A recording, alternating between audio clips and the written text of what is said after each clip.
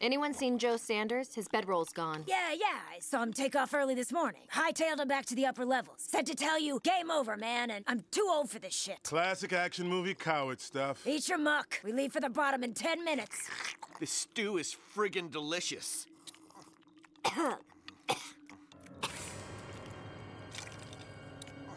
Dude, don't lick your fingers.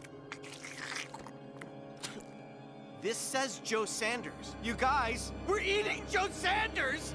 Come on now, Platinum Stevie.